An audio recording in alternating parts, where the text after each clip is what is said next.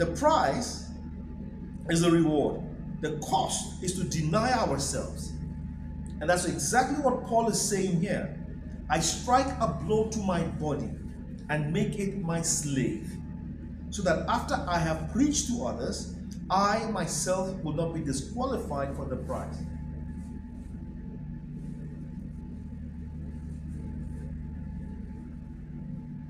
So we must be careful.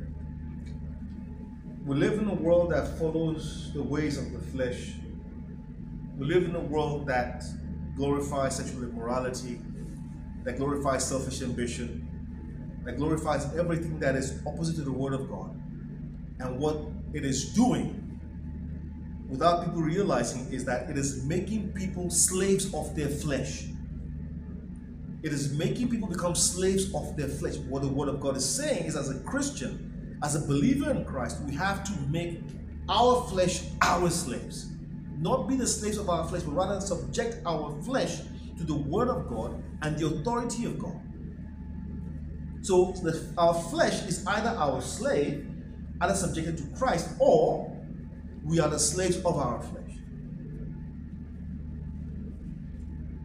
Let's carry on. So denying ourselves also